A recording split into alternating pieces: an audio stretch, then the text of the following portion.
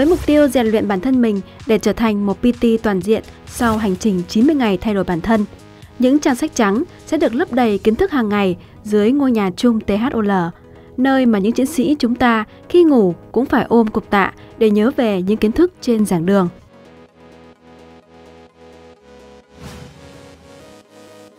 Thực trạng hiện nay của ngành PT Việt Nam Huấn luyện viên cá nhân hay còn gọi là PT Personal Trainer là một ngành thời thượng hái ra tiền khủng dành cho gymer khi nhu cầu xã hội ngày càng tăng cao.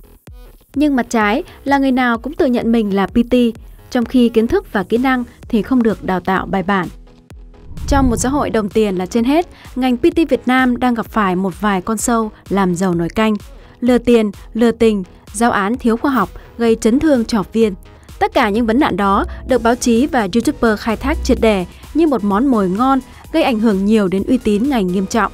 Hậu quả dẫn đến xã hội có cái nhìn thiếu khách quan về ngành PT, khiến cho những PT chân chính cũng bị ảnh hưởng ít nhiều.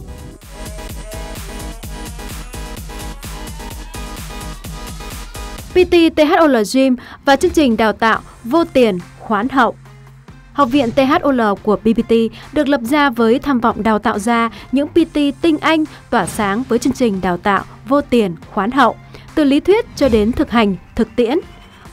Ngoài 300 giờ học lý thuyết, tất cả những bộ môn phục vụ ngành PT, kiến thức dinh dưỡng súp, thì những học viên cần phải trải qua 100 buổi tập đây là những giờ tập luyện cường độ cao để từng học viên có đủ thời gian lĩnh hội được tất cả những tinh hoa của từng động tác, sự phức tạp của từng thiết bị gym chuyên dụng tại THOL.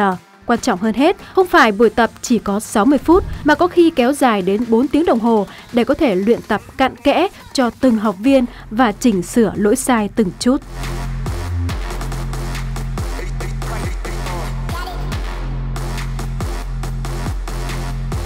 THOL Gym đào tạo PT có gì khác biệt?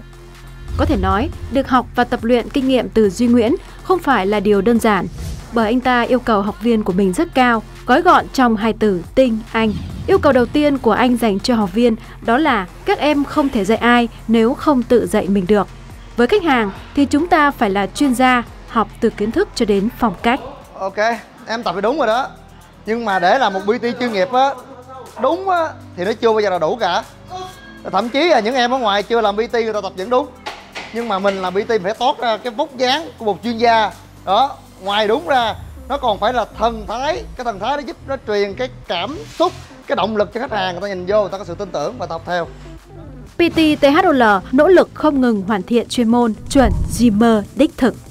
Qua những buổi học thực tiễn, thiếu sót từ học viên còn rất nhiều vì mỗi người có một xuất phát điểm gym khác nhau nhưng trên tinh thần cầu thị, quyết tâm cao, trước khi tham dự khóa học, tất cả các ứng viên PT tại THOL Gym đều đã nỗ lực tối đa 200% khả năng của mình.